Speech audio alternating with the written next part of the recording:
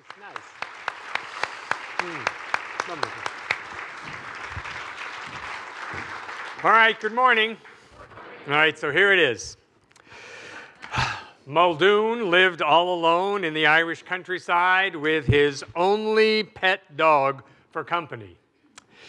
And one day the dog died, and Muldoon went to the parish priest and said, Father, me dog is dead. Could you be saying a mass for the poor creature? Father Patrick replied, he said, Oh, I'm afraid not. Uh, we cannot have services for an animal in the church. Um, but, th- but there are some Baptists, you know, down the lane, and they might, you know, be willing, no telling what they believe.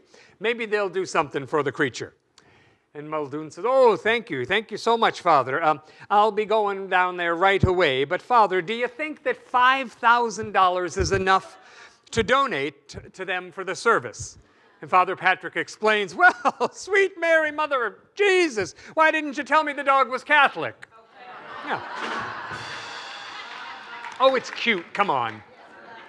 All right, so uh, in the science of mind, we teach that what you focus on increases. So, like right now, all I can focus on is that the back door is open out there, and we need to close that. Thank you, Dan Rose. Beautiful. See? You think I'm not paying attention, but I am. I am paying attention. What you focus on increases. Another way to say this is that energy goes where energy flows. So the way I look at this is like uh, a high-powered laser and a light bulb actually have the same kind of potential energy, right? The laser manages its energy in a more efficient way, though, because it produces a more impressive and a more powerful result. But in the light bulb, the photons of light are actually chaotic in just an ordinary bulb. There's no order or rhythm of the discharging photons. The light tends to be more dim, right? So the laser beam generates coherent light, which is why it can accomplish so many extraordinary things. The laser beam manages all of its own energy. The photon of light that it emits, those photons are pulsating at the same frequency of energy, all those little photons. This, I think, is a lot like our attention. You know, the quality of attention that we maintain is important because we can only change what we're paying attention to. Hmm? So when people say, oh, I don't want to know about that, I don't want to think about that, I don't want to give that any of my time or any of my attention, the downside of that is that we can only change what we pay attention to. It's like you're saying into the universal mind, no, no, no, I don't like that, but I'm willing to let it continue to operate because I don't want to give it any of my mental or spiritual attention.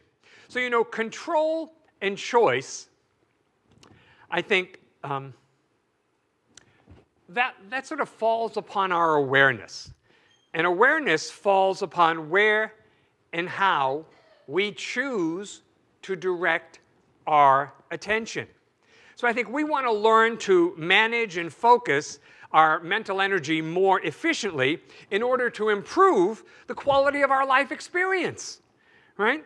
So we learn to listen, we learn to pay attention, and the more you listen, the more you're going to hear. The more you hear, the more deeply you'll understand, the more masterfully you'll live your life. So sounds good to me. I think it's important for us to build our ability to concentrate, to gain some level of mastery over our own attention. You know, what could I accomplish if I could maintain a more focused mental state? That's an interesting thing. What could I accomplish? Because I think I'm doing all right. I think I'm doing okay. Hmm, but if I could really maintain this more focused mental state, what might my life be like? What might I be able to achieve, to accomplish? How might I be? You know, because I think we all get distracted. You know, other concerns just pop up. I mean, I'm right there in the, you know, in the first line of defense. I have shiny object syndrome as much as anybody. You know, I'll just be going along and then all of a sudden like, oh, squirrel, squirrel. It's like my dogs, you know, we go for a walk, you know, when they're just chugging along and we're doing great, but then there's a squirrel and it's like they completely forgot about the fact that we're walking, you know, because they're so caught up in the squirrel. And I think that's me a lot of times. You know, a little bushy tail goes running by, and I'm, I'm completely off onto something else. So, correct concentration, it seems to me, is somewhere between putting effort into it, but it also being effortless. There's this place, kind of in the middle there, a place between determination and allowing, you know, directing the flow of my mental energy and resting in the flow. There's a place kind of in the middle. So I believe that the ideal state is concentration with relaxation. It's like, can I do both of those at the same thing? Absolutely. That's the optimal state for creative thinking. You know, that if we concentrate too hard, I think what happens is we tire ourselves out. Right? And then we just move on to other things. Oh, that was harder than I thought. I can't do it. Never mind. I'm not going to bother. So maybe it's more like holding something delicate, like a little, like a little baby bird. Imagine if you were holding like a little baby bird or even a butterfly. Have you ever had a butterfly land on you? Isn't that the most extraordinary thing? That has to be some kind of communication, don't you think? Other than you look like a tree. You know, I mean, I always feel like the universe is telling me something when like something like that happens, right? So, so maybe it's like holding on to something that's really delicate. It could only be a good thing to be more focused and yet flexible and, and more in control of our own creative intelligence, right? So I think that this, this balanced state, that, that this is a balanced state, and where you can focus your attention whenever, wherever we choose. Because I think the quality of our attention is fundamental to the quality of our life if our attention is ping ponging all over the place, that's going to be reflected in how our life is. You know, but if we're really focused, if we have that discipline to keep going in the direction of our goal, of our dream, or, or of, of anything on our list that we're out to accomplish, the quality of our attention is fundamental to the quality of our life. See, because I think the ability to focus our mind is a measure of how in control or out of control we are in our life. I mean, if you look at it, where we cannot focus, those areas tend to be uh, a little more sketchy, a little more elusive to us, sort of harder for us to grasp and feel like we're involved in co creating in those areas. I think we all have times where we're really, really focused. You know, probably every person here has had some experiences, I'm certain of it, where we were really, really focused. Maybe you felt, uh, and at that time, I think maybe you felt really alive and really in the flow during those times. A time where you were so captured by the sweet intensity of the moment that nothing else dared to intrude. You know those times? Those times you know you're doing something and without really thinking about it, just hours go by. And you think, God, where did the afternoon go? What happened there? Say, oh, that must have been the zone. I think I was in it. You know, that must have been one of those times. See, because the times we relaxed into the flow, and we've all done it, I'm certain, there, we've all had times where we just sort of relaxed down into the flow. We felt carried and simultaneously supported, moving effortlessly and easily through some experience in our life. I really like that. I think that's good. Personally, I'd like to have a lot more of being in the flow and feeling carried through experiences in my life. So there, there may have been, what, a sense of wonder in that experience, or being joyful, or gratitude, or deep connectedness, or aliveness, maybe clarity, a sense of, I'm really being on purpose here. You know, it may be that these are the moments that are actually what, we're what I would say are most worth living for. Because they remind us what we're looking for and what we're capable of doing and being. And like I said, it's wonderful when we know what we're capable of doing and being, but then, shiny object, we get distracted.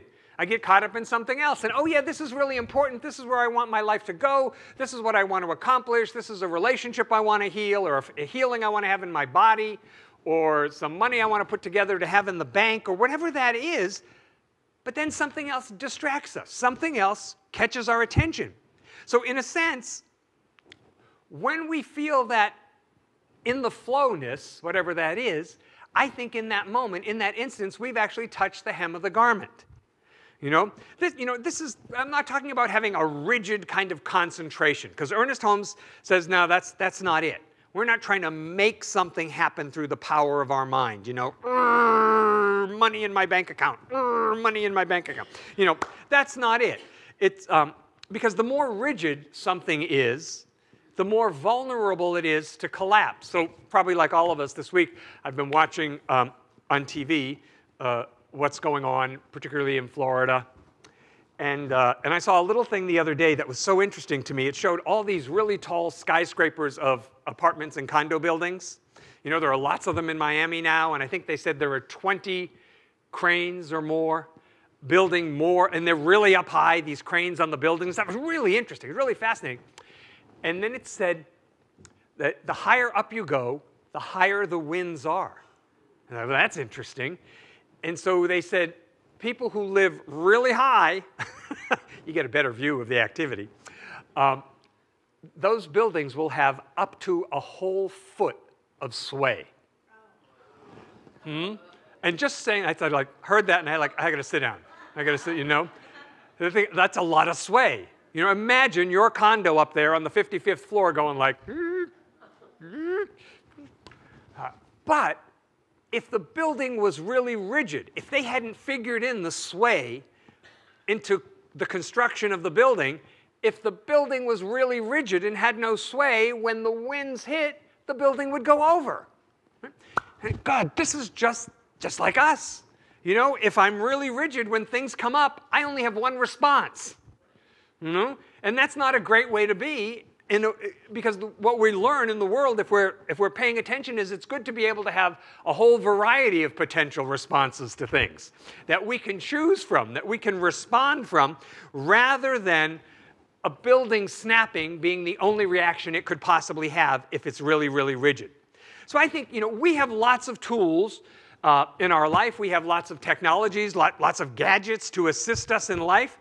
But the science of mind would say our mind is the most important thing, our most important tool to change and heal and evolve and grow our life. It all begins for us with our mind. And understanding and using the mind you know, is what Ernest Holmes and all the New Thought founders referred to as mental science. And, and learning to work in mental science can lead us to a happier and a healthier life. Because really, to learn how to think is to learn how to live. Hmm? You know, so, so you know, we say in Science of Mind, I don't want to tell anybody what to think. We want to teach you how to think. We want to show you that your thinking is creative and that there are consequences or results from the way we choose to think. So I think to master our attention, I think the first thing is that we have to say, all right, what do I want to focus on? Because remember, energy goes where energy flows. What you focus on increases. Have you ever noticed in a relationship that if you're focusing on what's wrong with somebody you are in a relationship with, that list just gets longer and longer and longer? That it's not hard to find all the things that they're doing that are really working your last nerve, huh? You know, friend, partner, whatever it is, you know. But by the same token, you can turn that principle the other direction. And if you start to focus on all the things that are right with your partner, you will notice that those things continue to grow and expand and increase. Why? Because what you focus on increases. Right? And so, what are we most aware of? This is what I would ask us to think about today. Or at least the first thing is, what am I most aware of? You know? So, we'd all do this together. Everybody do a nice big inhale. And quickly, think about peace in me, peace within yourself, a quality of God that is peace within you. Now exhale, and as you exhale, think about peace in the world. Inhale, peace in me.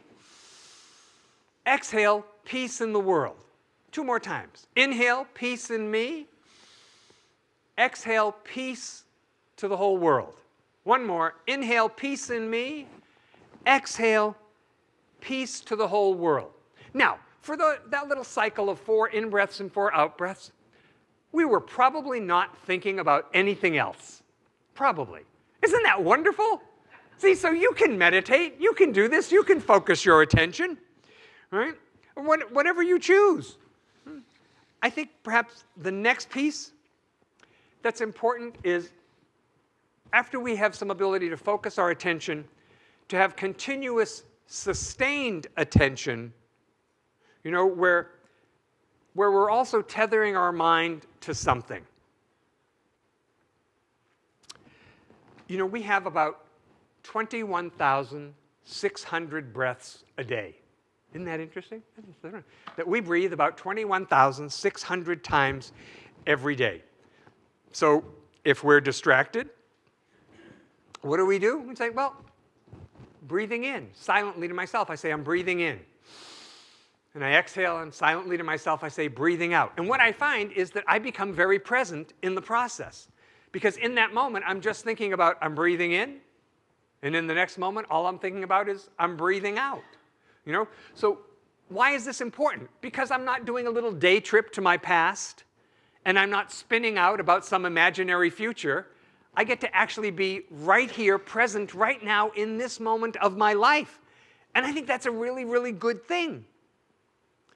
Also, I think that there's something about developing a greater flexibility of attention because we can move in an infinite variety of ways. Because the more rigid your mind is, the more rigid your brain function is, right? But the more flexible your mind is, the mind can handle more complex situations. So a more flexible mind can deal with more challenging things without any kind of distress. That would be a really good thing, wouldn't it? You know, to say, well, challenging things can come up, but I don't get all worked up about it because I know my mind can deal with whatever shows up. See, I think our ability to be mindful of where our attention is, you know, of where our attention is focused and how our attention is directed is key, is really the key to really optimal use of this creative intelligence that's within us. You know, St. Paul said, Be ye transformed by the renewing of your mind. And it has been my experience that people are not really interested in renewing their mind. They're more interested in rehashing their mind. Um, what I mean by that is they just want to think the old stuff harder, you know, rather than thinking something new or something different or something of a higher order. Why don't they want to think something new, different, or of a higher order? Because it's work, right? It takes some effort to do that. Hmm?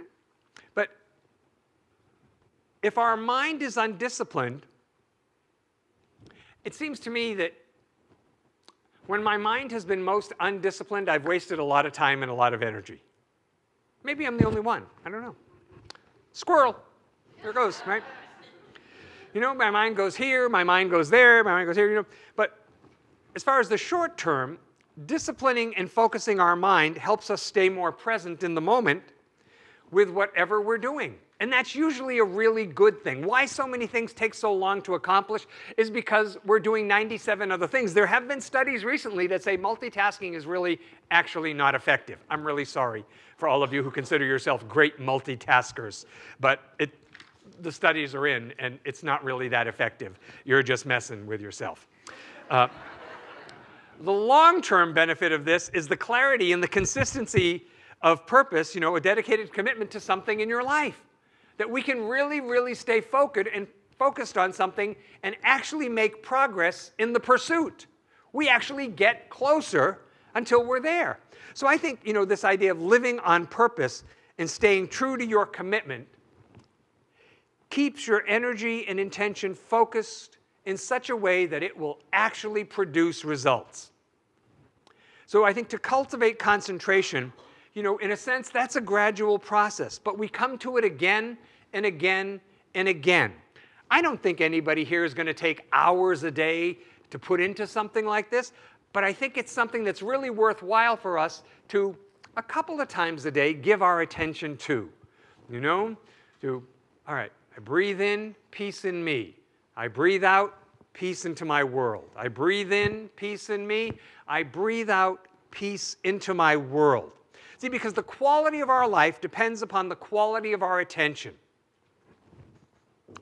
So if my attention is going to peace in me, peace in the world, that's going to add something really valuable to the quality of my life experience. Rather than every time I turn on the TV or the radio or look at a newspaper and my mind just starts to spin with everything, you know, I've noticed that if I do that, if I just go what I call, if I just go external, at the end of that, I have a level of stomach acid that is like a volcano, you know? And I think, oh my God, why do I feel this way? Why do I feel this way? Well, because I wasn't in charge of my mental and spiritual household there. You know? Whereas if I watch that, and I'm not saying we shouldn't watch, because you know it's good to know what's going on to some extent in the world, but I want to watch with consciousness. And what I mean by that is I want to watch, or I want to read, or I want to listen, and while I'm doing that, peace in me, peace into my world. Peace in me, peace into my world. Now, the information that's coming to me has not changed at all. I'm still able to receive the information. I know what's going on in the world. That's, to me, that's important. But now what I've done though is that I've sort of ratcheted up my consciousness a level, and now rather than being at the effect of that information that's coming me to the world, I'm actually being in a co-creative relationship with it. Oh, there's that information in the world. Peace in me, peace to my world. Peace in me, peace to my world. So what you focus on increases. I'm inviting us this week to really look at and watch what we focus on. It's obvious, isn't it, that we could focus on some things and it will really add to our life in a wonderful, positive, healthy way. We could focus on some other things and it's only going to detract from our life. Now, we're in church. Tell the truth. Why would you do that? You know, no good's going to come from that. And remember also that energy goes where energy flows. What are you going to put your energy into this week? Let's pray. So we turn our attention inward right now, remembering that right here where we are, the fullness, the allness of God, God's infinite loving spirit is right here. It surrounds us, it fills us, it lifts us up. It is the most true, most real thing about us. And so in this awareness, I speak the word for each and every one of us that we are keenly aware of what we're putting our attention on, knowing that that is what's growing and expanding and increasing in our life. I know for each and every one of us that it is truly God's desire that our life be good in every way. And so I know for us that we are open and willing and receptive to the goodness of God, not only for ourselves, but for all people everywhere. So we think of all the things in the news that have pulled at our attention this week, and we remind ourselves that God is fully present right there, that there is a principle and a power and a spiritual activity that's everywhere equally present. So it is not possible that God can be absent from these things that are taking place in the world around us. So we include in our prayer today our family members and our friends and loved ones. We know that right where they are, the fullness and the allness of God's infinite spirit is right there. We bless our church. We bless all churches everywhere. We bless synagogues, temples, mosques, ashrams, all paths to God. And I'm certain that we are blessed by being together that today there is raising up, that everyone is open and receptive and willing for their right and perfect healing. And so, with a full heart, I give thanks that this is so. I release my word, and so it is. Together we all say, Amen.